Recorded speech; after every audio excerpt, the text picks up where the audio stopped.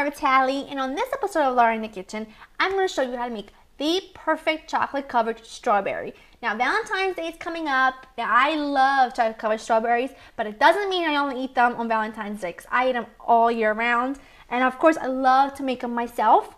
And I'm going to show you guys how to do a foolproof recipe today. These come out perfect every single time. I'm going to show you how to do it. You're going to start with some fresh strawberries, of course. And then I use milk chocolate chips, but if you like a darker chocolate, you can use bittersweet or semi-sweet. I just happen to love milk chocolate. And a little vegetable oil, two teaspoons. Now, the reason why I'm using vegetable oil is totally flavorless, but the vegetable oil is gonna give me that beautiful shine on the kind of coating the chocolate a little bit. It's perfect every single time. Okay, first you wanna make sure your strawberries are totally clean and dry. If they're wet, they're not gonna get the chocolate, the chocolate just won't stick to them. So if they're wet, forget it. Now, we're gonna do a double boiler. All that is is a little pot with about an inch or so of water, and you wanna put a heat-proof bowl over the top, but you wanna make sure that the bottom of the bowl does not touch the water. Otherwise, it scorches the chocolate, chocolate burns, gross. We got that going on. Now let's head over to the stove so we can bring this to a simmer, add our chocolate, and cook it up. My water is up to a simmer, and as you can see, it's not boiling I want it nice and gentle because I want to heat the chocolate nice and gently. Now put my bowl over, my chocolate chips in here with my two teaspoons of flavorless vegetable oil and just very gently heat this up. They'll take about five, six, seven minutes around then.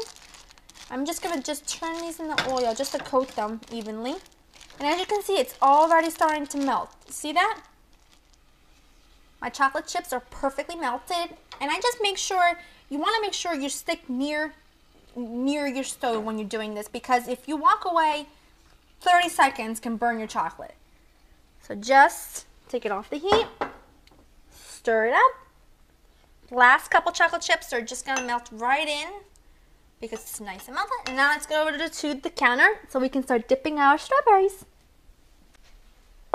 That's done. Get my strawberries close to me. I have a plate here with some wax paper. You can use parchment paper, whichever you have. And we're gonna start dipping our strawberries. Now, I, let me show you this one. I dip mine, move this so you can see better. Get the chocolate to one side, nice and easy. Take your strawberry and just right in, about two thirds of the way in, because you want to be able to see the top of the strawberry. Look at that. Thick, it's perfect. It's exactly what I want. Just like that. And as you can see, there's already, you can already start to see a shine on the chocolate, and that is from the vegetable oil, and it adds absolutely no flavor whatsoever. So you just want to work kind of quickly and dip all your strawberries in there.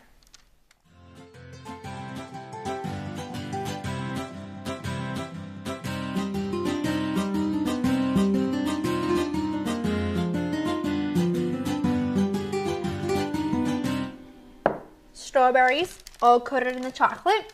Find the urge to eat them right now.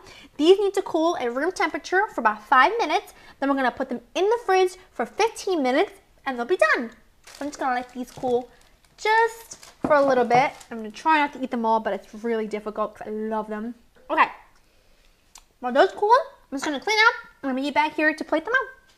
My strawberries are absolutely perfect. I left these cool on the counter for five minutes, in the fridge for 15, and they're just as I want them. Nice and firm, and the chocolate doesn't crack because we let it cool, we let them cool at room temperature first, and then we put them in the fridge, which is the way to go. At that, slide right off.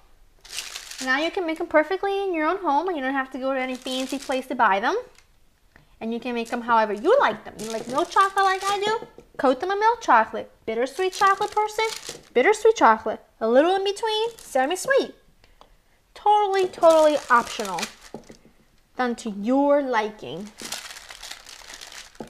I hate to say this, but this isn't gonna make it. Mmm. Mmm. That is one of my guiltiest pleasures in life. It's so good. Mmm.